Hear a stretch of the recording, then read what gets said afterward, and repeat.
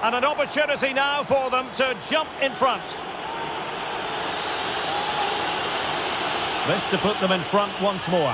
Oh no! Crossbar instead of net. Well, it does.